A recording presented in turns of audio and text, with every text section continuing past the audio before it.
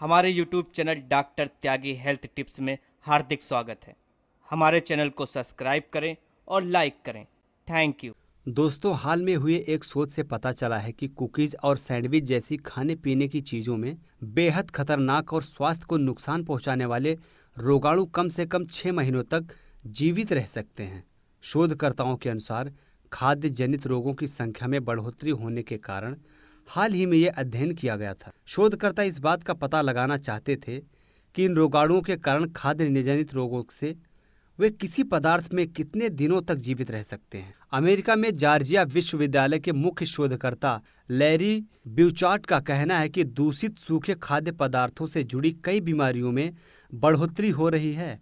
हानिकारक रोगाणुओं के बढ़ने की उम्मीद नहीं थी।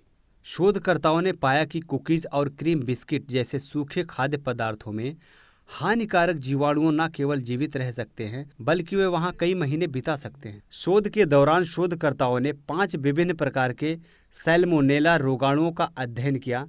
लैरी के अनुसार, कम नमी वाले खाद्य पदार्थ में इन रोगाणुओं को अलग किया गया था।